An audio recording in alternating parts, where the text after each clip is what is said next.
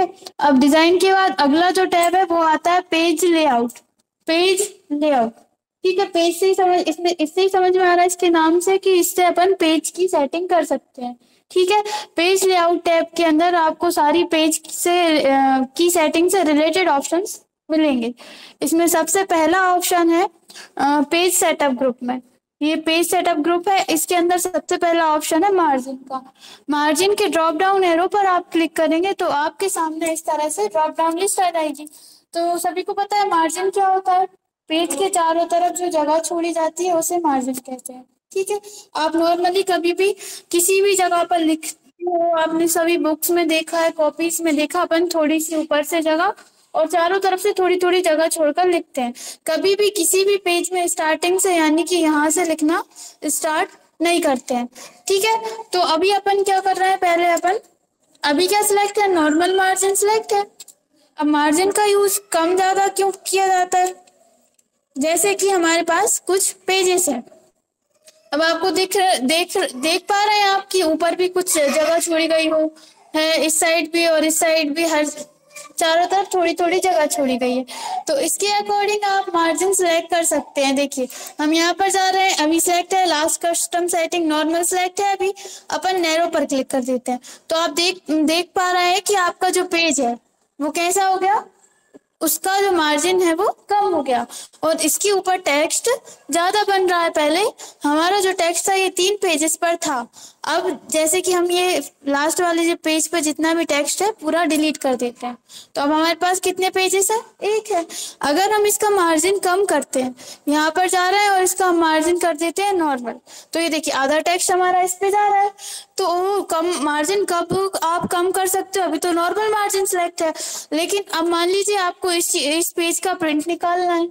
और आपका थोड़ा सा टेक्स्ट अगले पेज पर जा रहा है। आपको एक पेज और निकालना पड़ेगा। आप चाहते हैं एक ही पेज पर पूरा अपना टेक्स्ट आ जाए। तो उसके लिए अपन क्या करेंगे? यहाँ से मार्जिन पर जाएँगे। इसको मार्जिन को कम कर देंगे नैरो सेलेक्ट कर लेंगे। तो यहाँ पर देखिए, बाकी का टेक्स्ट इसी पेज पर आ गया। और फिर आप इसका प्रिंट निकाल सकते हैं। आपको सिर्फ़ एक ही निकालना पड़ेगा, दो नहीं निकालने पड़ेंगे। इसके अलावा और भी अलग अलग टाइप के मार्जिन दिए गए हैं। यहाँ से आप अपने अकॉर्डिंग कोई सा भी ले सकते हैं। वाइड है, इसमें इस तरह से आएगा। मतलब दोनों ये लेफ़्ट साइड और राइट साइड ज़्यादा मार्जिन आएगा और ये इस तरह से दिखाई देगा। ठीक है? ये आप सब कर करके देखना। फिर इसके बाद कस्टम मार्जिन ऑप्शन पर जाएँगे। तो यहाँ पर आपको इस तरह से डायलॉग बॉक्स मिलेगा। इस डायलॉग बॉक्स में टॉप ठीक है top bottom left right select है। तो यहाँ से आप सिलेक्ट कर सकते हैं। टॉप में आपको कितना मार्जिन रखना है? टॉप में और बॉटम में सेम मार्जिन रहता है और लेफ़्ट में और राइट में सेम मार्जिन रहता है। आप चाहें तो कम ज़्यादा कर सकते हैं, लेकिन हमेशा यही रूल है कि टॉप में और बॉटम में सेम रहता है और लेफ़्ट में और राइट में सेम रहता है। यहाँ पर प्रिव्यू दिखा रहा है, ठीक है? तो यहाँ से हम बढ़ाते हैं मार्जिन देखिए, बढ़ रहा है टॉप में। अगर आप ओके कर देंगे तो ये सिलेक्ट हो जाएगा। इसी तरह से बॉटम में हम बढ़ा रहे हैं तो ये देखिए बॉटम में बढ़ जाएगा। इसके बाद लेफ़्ट में आपको बढ़ाना है मार्जिन या फिर कम करना है तो इस तरह से आप कर सकते हैं। और ओके कर देंगे तो यहाँ से जैसा भी हम सिलेक्ट करेंगे, उसके अकॉर्डिंग हो जाएगा।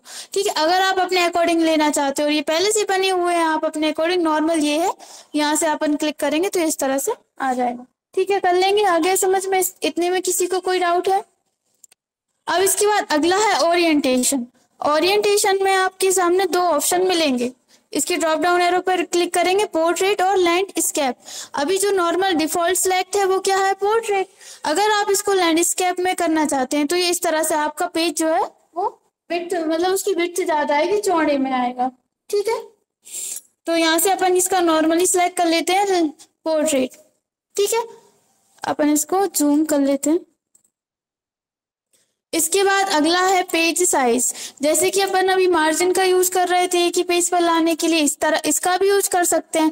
लेकिन इसका नॉर्मली यूज़ क्या होता है? पेज साइज़ का अपन इसको अभी कुछ ज़्यादा ही छोटा हो गया। थोड़ा थोड़ा सा अपन इतना बड़ा कर लेते हैं। ठीक है?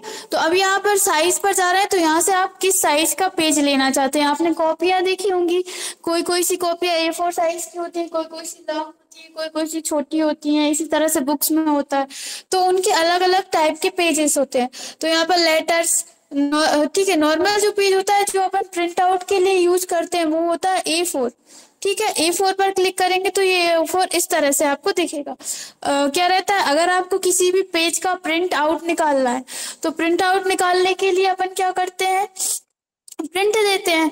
अब ज़रूरी नहीं है आपने यहाँ से कौन सा पेज सिलेक्ट किया, उससे आपके प्रिंटर को कोई मतलब नहीं है। आपका जो प्रिंटर है, वो किस साइज़ का पेज निकालता है, वो उसी साइज़ का पेज निकालेगा। चाहे आपने बड़ा पेज सिलेक्ट किया हो या छोटा पेज सिलेक्ट किया हो। अगर मान लीजिए आपने यहाँ से कोई बड़ा पेज सिलेक्ट कर लिया है और प्रिंटर आपका ए निकालता है तो वो आपका जो एक्स्ट्रा एरिया होगा ना, वो उसको काट देगा। लेकिन निकालेगा वो ए फोर ही। ठीक है? कल हमने आपको बताया था कि आप जैसे पेज लगाओगे उसमें वैसे ही वो निकालेगा प्रिंटर जैसे कि आप ग्रीन पेज लगाओगे तो ग्रीन पेज निकालेगा। इसी तरह से आप प्रिंटर में अगर ए फोर साइज़ के पेज लगाओगे तो वो ए फोर साइज़ ही निकालेगा। Normal printer A four size ही निकालते हैं। ठीक है? तो अपन यहाँ से क्या करेंगे? अगर जैसे कि आपको सिर्फ़ सेव करने के लिए चाहिए, या फिर पीडीएफ बनाने के लिए चाहिए तो आप कोई सा भी पेज साइज़ सिलेक्ट कर सकते हैं। नॉर्मल रहता है ए फोर ठीक है, इसके अलावा लेटर इन दोनों में थोड़ा सा अंतर रहता है लेटर में और ए फोर में। ए थ्री ए फोर से भी बड़ा पेज होता है, ये देखिए, इतना बड़ा है कि जो दो पेज में आ रहा था टेक्स्ट वो एक ही पेज में आ गया और हम यहाँ पर और भी लिख सकते हैं। और भी मतलब आधा है अभी ये। इस तरह से आप यहाँ से पेज अपने अकॉर्डिंग सिलेक्ट कर सकते हैं कि आपको कितने पेजेस में चाहिए, ठीक है?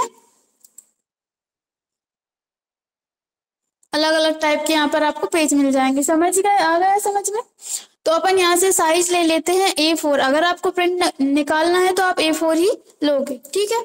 इसके बाद अगला है यहाँ पर कॉलम जैसे कि अभी आप देख रहे हैं कि हमारा जो भी टेक्स्ट है वो एक ही पेज पर आ रहा है? मतलब पेज एक ही पेज पर नहीं, एक ही पेज में एक ही पैराग्राफ आ रहा है। आप चाहते हैं कि आधा यहाँ पर आना चाहिए, आधा दो कॉलम में या तीन कॉलम में डिवाइड करना चाहते हैं तो आप यहाँ से कॉलम के ड्रॉप डाउन एरो पर क्लिक करेंगे। वन सिलेक्ट है, हम यहाँ से टू सिलेक्ट कर रहे हैं। तो आप देखेंगे कि इस तरह से ये हमारा जो टेक्स्ट है, वो टू कॉलम में डिवाइड हो जाएगा। अब आगे अगर आप कुछ लिखेंगे तो वो भी इसी तरह से आएगा टू कॉलम में। ठीक है, एक बार अपन ने सिलेक्ट कर लिया, फिर सभी में टू कॉलम में ही आएगा। अगर आपको और कॉलम बढ़ाने हैं थ्री कॉलम में चाहिए तो आप थ्री कर देंगे यहाँ से। ये देखिए थ्री कॉलम में आने लगेगा। आपने देखा होगा बुक्स में इस तरह से अलग अलग कॉलम बने रहते हैं। ठीक है, इसके बाद यहाँ से आप लेफ़्ट और राइट लेफ़्ट पर करेंगे तो ये इस तरह से आएगा। लेफ़्ट का कॉलम छोटा और राइट का कॉलम बड़ा। ठीक है इसके बाद इसी तरह से राइट पर क्लिक करेंगे तो ये राइट लेफ़्ट का जो कॉलम है वो बड़ा आएगा और राइट का छोटा आएगा। इसके अलावा अगर आप चाहते हैं अपने अकॉर्डिंग कोई नॉर्मल करना चाहते हैं तो वन पे क्लिक कर दो नॉर्मल हो जाएगा। लेकिन आप अपने अकॉर्डिंग कुछ कॉलम का जो है कुछ भी सेटिंग करना चाहते हैं तो अपन मोर कॉलम ऑप्शन पर जाएँगे। यहाँ पर वहाँ अपने पास जितने ऑप्शन थे, वही ऑप्शन आपको यहाँ पर मिल जाएँगे।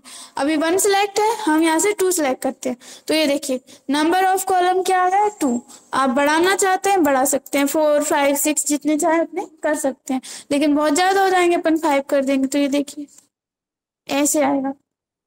ठीक है? फिर से हम इसी पर जा रहे हैं, इनको हम टू ही कर देते हैं। आप डायरेक्ट लिख भी सकते हैं। इसके बाद इसके बाद यहाँ पर क्या आ रहा है? विथ और स्पेसिंग बिट्स अगर आप बढ़ाएँगे तो ये कितने मोटे करने हैं आप? ये इस तरह से कर सकते हैं।